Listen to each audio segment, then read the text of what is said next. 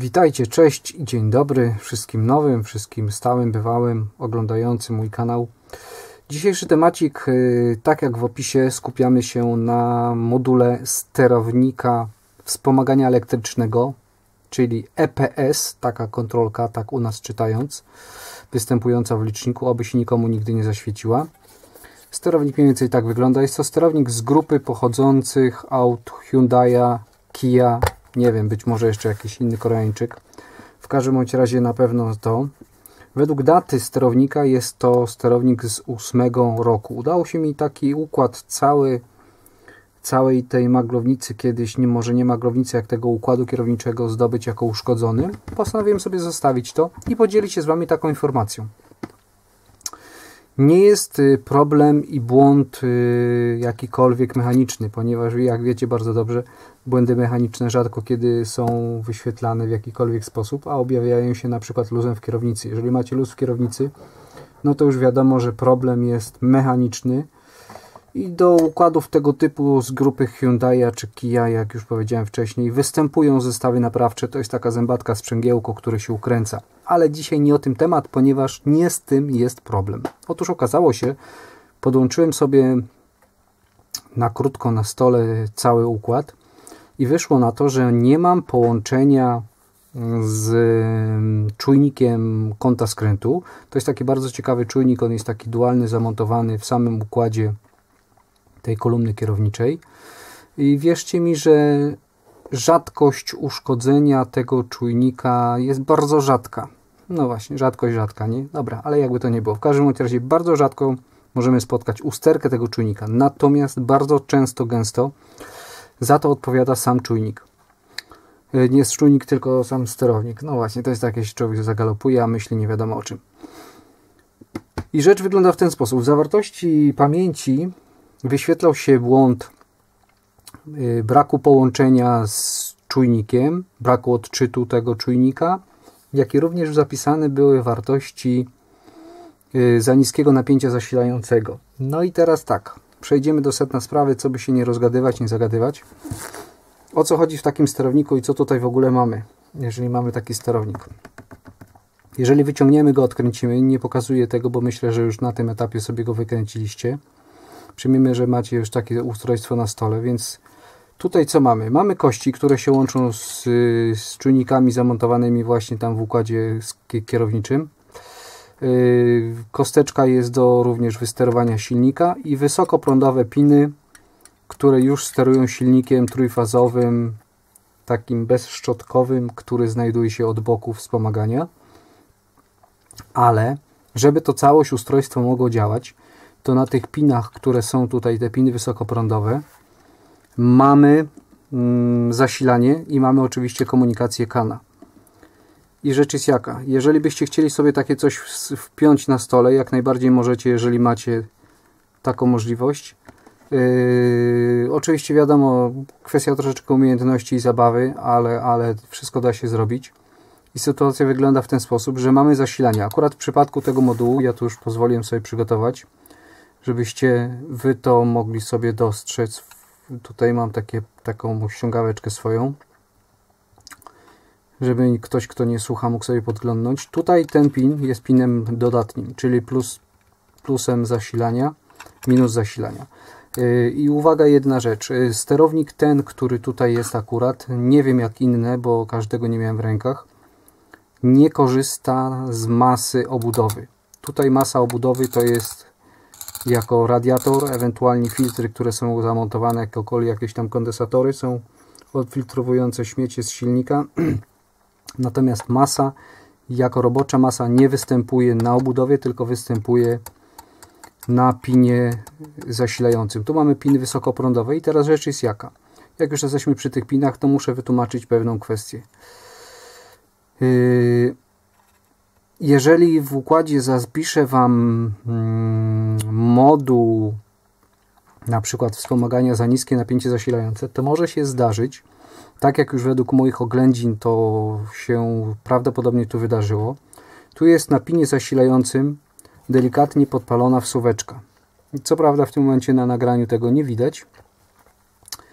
Yy, dlaczego tak się stało? No prawdopodobnie gdzieś tam połączenia pełnego nie było, gdzieś może wilgoć się do tego dołączyła. Natomiast musimy sobie zdawać sprawę, że ten moduł jest w stanie do silnika z układu wspomagania dostarczyć nawet do 78 A, czyli przyjmijmy w zaokrągleniu 80 A, to jest naprawdę prąd bardzo duży przy 12 V, więc y, jeżeli mamy problem z połączeniem, to wierzcie mi, że moduł zaraz to wyłapie.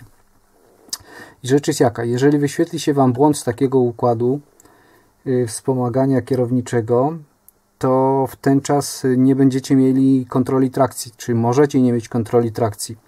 Dlaczego? Dlatego, że ten moduł za pośrednictwem kana łączy się z pompą ABS-u, a pompa ABS-u odpowiada za bezpieczeństwo za hamulce, czyli za kontrolę trakcji. No i w drugą stronę również to działa. To coś wysyła informacje o kącie, o, o skrętu kierownicy, o momencie skrętu kierownicy, natomiast y, w drugą stronę zwrotną dostaje informacje z modułu ABS-u z jaką prędkością aktualnie się pojazd porusza, dlatego że wiecie bardzo dobrze, być może już oglądaliście na którymś u mnie filmie, wspomaganie im szybciej jedziemy, tym jest bardziej wygaszane. Czyli żeby nie wyprowadzić pojazdu z trakcji, z linii jazdy, wspomaganie tak jakby osłabia swoją, swój moment obrotowy i, i słabiej działa. A gdy stoimy na postoju, wiadomo, że nam jest ciężej kręcić kierownicą, w ten czas wspomaganie działa całą parą. Ale dobra, wiecie już, że tu mamy zasilanie, czyli ujemny dodatni biegun. Mamy kostkę zasilającą. Tu zespoloną razem z kostką do połączenia kana. Co mamy w takim kanie? W takim kanie mamy praktycznie rzecz biorąc 6 pinów. Jeżeli to widać. Widać? Może i widać. Nie? Jak nie będzie widać, to ewentualnie piszcie. Od góry są dwa piny, które są niewykorzystane, jeśli chodzi o ten układ. I oprócz tego tak jak widzicie tą wtykę u mnie, może ja pozwolę sobie przybliżyć to, żebyście wy to lepiej widzieli. O. Tak wygląda ta kostka. W, dolne, w dolnej części ma cztery piny. Dwa górne piny są praktycznie rzecz biorąc niewykorzystywane. Nie wiem do czego, być może gdzieś tam w innych układach. Natomiast mamy tak, zewnętrzne piny to jest komunikacja kana komunikacja kana wysoka i niska, żebyśmy wiedzieli, tak jak wtyczka jest tutaj, w ten sposób usytuowana, gdzie ma te dwa piny górne, to mamy wysokiego i niskiego kana, ale żeby cały układ mógł funkcjonować, potrzebna jest również tak zwana piętnastka, czyli sygnał po włączeniu zapłonu. Żeby elektronika nasza mogła działać, to nasze zasilanie tutaj przychodzi wysokoprądowe, ale informacja do odpalenia układu jest tutaj na tym drugim pinie od y, lewej strony, tak jak Wy to widzicie na ekranie, jest sygnał tej piętnastki przysłowiowej, czyli, czyli zasilania po zapłonie. I sytuacja tego typu. Jeżeli macie tu zasilanie, a nie komunikujecie się z Waszym modułem, czyli macie na przykład brak, y, brak komunikacji z modułem, to w ten czas co sobie zróbcie? Zróbcie sobie taki myk, że połącz, połączcie się, czy wejdźcie sobie w moduł ABS-u i spróbujcie sobie odczytać ABS. Z ABS-u może się Wam udać odczytać, może się udać, na przykład, że jest brak komunikacji z tym, bo Wy łącząc się w samochodzie na przykład macie informację mm, brak modułu wspomagania kierownicy i, no i zaczyna się problem. Nie wiecie co, jak ugryźć i tak dalej. Natomiast może się czasem zdarzyć tak, że poprzez moduł ABS-u uda się Wam zlokalizować prędzej usterkę, dlatego że on sobie już zapisze może sobie zapisać jakiś tam kod, chociażby kod na przykład, że jest brak komunikacji z czujnikiem kąta skrętu, no to już wiecie, że tutaj wtedy na, tej, na tym kanie, który sobie leci, nie ma komunikacji. Dobra, z czym mamy problem? Więc tak, odkręcamy moduł, śrubeczki wiadomo, już nie będę tłumaczył, bo by to, byłoby to bez sensu, że trzeba je odkręcić. No i teraz tak, co bardzo często, gęsto się zdarza. Nie wiem dlaczego, być może, być może po prostu czas robi swoje, a wiadomo, te luty są dzisiaj jakie są. Przesuniemy sobie to troszkę.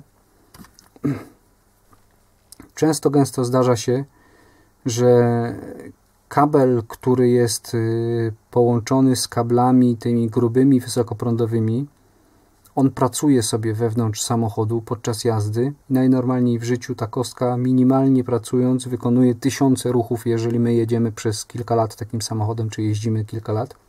Wiadomo, że nie non-stop. I w ten czas te piny mogą sobie oblatywać.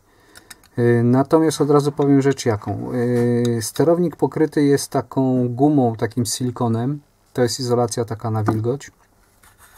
Także musimy się skupić na tej kości, żeby ją przelutować i musimy się skupić na kościach, które lecą do czujnika, bo w zapisie, w zapisie modułu był błąd komunikacji, brak y, komunikacji y, z czujnikiem skrętu, więc tutaj już musimy wiedzieć, że te piny musimy sobie poprawić, ale nim do takiego czegoś dojdziemy, ja osobiście mam taką możliwość, więc to zrobię i Wam to pokażę.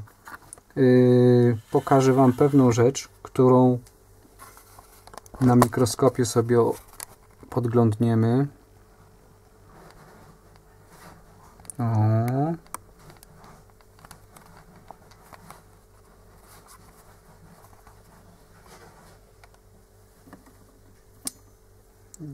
nie wiem jak to będzie widać. Myślę, że będzie. Dobra. Mamy. Tylko gdzie jest nasza kosteczka? O. Tu jest ta nasza, nasza kosteczka, więc rzecz jest jaka. Pasowałoby zczyścić w pierwszej kolejności pasowałoby zczyścić kurczę tą, tą warstwę tego silikonu, która jest. Ja używam do tego typu, o w tym momencie Wam pokażę szczotki. Jest to miedziana szczotka. Używam sobie do tego wkrętareczki bądź ewentualnie jakiegoś dreamerka czy jakieś urządzenie takie wielofunkcyjne, które jest. Wy możecie użyć dowolnego, tylko ja używam szczotki miedzianej, dlatego że ona jest miękka, nie robi jakichś spustoszeń, a wiecie, że mieć no, przydaje się wszędzie, nie? W każdym bądź razie, dobra, skupiamy się na jakichś wstępnych oględzinach i sprawdzamy sobie, co się tutaj może dziać. Yy, co się tutaj może dziać i dlaczego robię to teraz, a nie po wyczyszczeniu silikonu? Dlatego, że jeżeli ja taką szczotką najnormalniej w życiu widzicie, przejadę sobie i pozdzieram ten silikon, to jednocześnie zamarzę dowody zbrodni, te, które zrobiły nam tutaj psikusa. Dlatego robię sobie taki zabieg przed. O, i już w tym momencie ja widzę na przykład bardzo dobrze, nie wiem czy to na nagraniu widać, czy nie widać. Jeden z pinów tutaj, który jest o ten, dokładnie ten, już widzę, że jest ciemny i delikatnie sobie obleciał. No wiem, że na nagraniu to tak kulawo troszeczkę widać może, ale ten pin już wiem, że sobie robi psikusa. A jak wiecie bardzo dobrze, to do zasilenia czujników, czy to będzie czujnik jakichś momentów w silniku, czy to będzie czujnik skrętu w kolumnie, potrzebne jest również zasilanie. No i to zasilanie, wiadomo, jeżeli problem jest jakiś z układem zasilania, będzie spadek, bądź będzie całkowity brak komunikacji. O i z tego co widzę tutaj masa jest również do poprawy, jest bardzo tragicznie bym powiedział wyglądająca. O tutaj ten pin dokładnie, ten który tu widzicie. Tutaj na tym pinie jak sobie tak podglądniemy bardzo dokładnie, to już jest takie zupełnie inne pole, ciemniejsze, które obleciało. I bardziej jak pewny, że jak ja wyczyszczę szczotką, to już tego widział nie będę. Ale przed wyczyszczeniem już wiem na czym się mniej więcej skupić. I to samo również zrobimy sobie z kością, która jest do zasilenia kana. No i przede wszystkim pamiętajcie o jednej ważnej rzeczy. U mnie jest zasada jedna, którą już kiedyś tłumaczyłem. Ja taki sterownik sobie zrobię i on sobie czasem leży, leży, leży, czasem jest potem już aż niepotrzebny, więc może pójdzie na dawce. Natomiast jak się ktoś czasem trafia, żeby komuś sprezentować taki sterownik, no to przecież ja zupy z tego nie będę robił. Jeżeli to coś komuś odpali, uruchomi się, no to w ten czas takie nagranie dopiero pojawia się z mojej strony w sieci. O, jeżeli byśmy sobie podglądali, zobaczcie jak wygląda jak wygląda jeden z pinów. Ten pin jest delikatnie, delikatnie ruszony, być może na nim nic nie jest, ten jest delikatnie, a ten jak sobie oglądniemy już widać, że jest wypalony i bardziej jak pewne, że jak ja wyczyszczę to coś, tego już widział nie będę, ale już wiem, że ten pin należy przeze mnie po prostu bardziej zwrócić na niego uwagę, mimo że trzeba wszystkie potraktować tak samo. I teraz rzecz jest jaka? Ja biorę się za szczotkę i to jest oczywiście pin, który odpowiada za komunikację kana. Czyli tutaj jest komunikacja. Już wiemy, że dlatego był błąd komunikacji również, ponieważ jeden z pinów gdzieś tam delikatnie obleciał i coś tam się na nim zrobiło niepokojącego. Dobra, biorę się za czyszczenie. Oczywiście tradycyjnie, tak jak powiedziałem, biorę szczoteczkę. Natomiast Wy pamiętajcie o jednej rzeczy. Jeżeli nie macie mikroskopu, weźcie sobie czy zaopatrzcie się jakiekolwiek szkło, kurcze powiększające tego typu, chociażby nawet jakieś tam. To jest jakieś zakupione gdzieś tam na portalu aukcyjnym 90, nie, 30-krotnie zwiększa 30-krotnie zwiększa sobie czy powiększa, ale, ale no nie jest to niewiele. Kurczę, ja używam jeszcze 60 mniejszej, a bardziej wydajnej. A jeżeli macie możliwość mikroskop, to czyścimy mikroskopem. I teraz rzecz jest jaka. Jeżeli wyczyścicie sobie te piny i podchodzicie do kwestii lutowania, to pamiętajcie bardzo ważnej rzecz taki. Taka rzecz bardzo ważna. Y, nie lutujcie takiej płyty hot airem, chyba że przy samych gniazdach, dlatego że spotkałem już bardzo wiele przypadków takich, że podczas lutowania odpadały pod spodem procesory, które są. Także tutaj nie ma, że ktoś jest mocniejszy, lepszy, słabszy. Po prostu przychodzi, przychodzi czas, ta cyna jest na tyle delikatna, że zdarzają się przypadki, że gdzieś coś tam odpadnie, nie? Także jeżeli bierzecie się za lutowanie tych pinów, to używajcie do tego lutownicy, topnika, dlatego że wiecie, że ta, ta cyna, która jest z czasem zaczyna odparowywać, zaczynają się robić przez to zimne luty i dlatego musimy nałożyć nową cynę. Dowolną cynę, jaką byście nie mieli, byle stopnikiem. A jest to ważne, nie? O, na przykład ja używam czegoś takiego, co tu będę ukrywał. Dobra, nie zatruwam, biorę się za wyczyszczenie tego i myślę, że nie będę już Was zatrzymywał w tym czasie pokażę Wam już jak, jak będzie płytka wyczyszczona, ewentualnie kwestie przelutowania. Ja sobie w tym momencie przygotowuję wkrętareczkę do czyszczenia. Także nie bójcie się ratować sytuację, jeżeli się Wam takiekolwiek zdarzają. No dobra, wyłączymy sobie sprzęt. Ja Wam pokażę w jaki sposób mniej więcej ja to zaczynam czyścić i biorę się za czyszczenie już takie mocniejsze. O.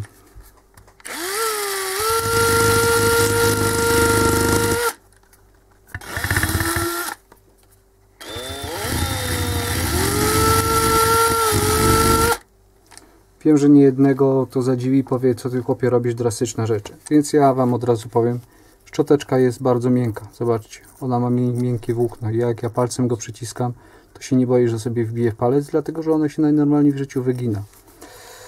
I swobodnie można wyczyścić sobie ten silikon, który znajduje się tutaj na tym, jak tak jak widzicie.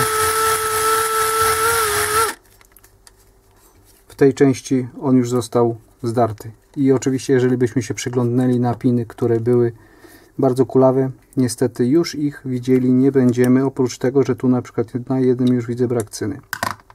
Dobra, nie zatruwam, biorę się za czyszczenie i spotykamy się już jak przelutuję piny, bo bez sensu by było Wam pokazywać jak lutować, bo ja wiem, że Wy już potraficie. Dobra, na razie. Ta już ostygnięta. Mniej więcej wygląda to tak. Nie wiem, czy to na nagraniu będzie widać. Może nie być widać. To ma działać, a nie wyglądać. Tak samo jak i auto ma jeździć, a nie wyglądać. Nie. Tu kostka jest przelutowana.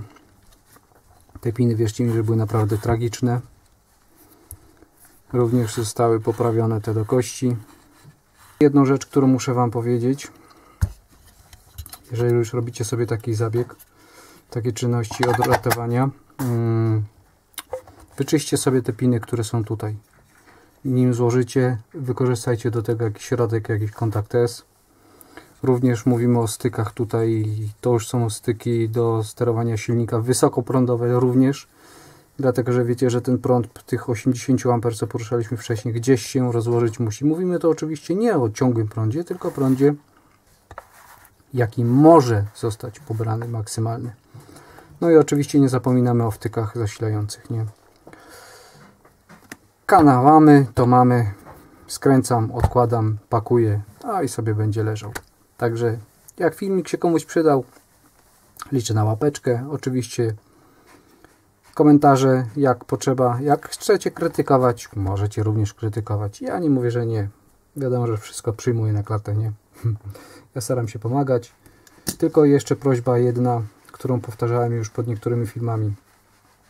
Mam do Was taką prośbę. Jeżeli piszecie do mnie jakąś prośbę, jakieś pytanie, i piszecie na temat układu na przykład wspomagania, to na litość. Nie piszcie tego pod silnikiem, na przykład diesla, bo potem ja wiem, aha, odpisałem komuś tam odnośnie wspomagania, na przykład kalibracja układu. A potem szukam, ha, kurka wodna. Gdzie ten ktoś mógł napisać komentarz? A, jest. Napisał pod komentarzem, pod filmem, jak naprawić rower na przykład. Choć nie mam roweru, nie? Mam, ale nie naprawiam.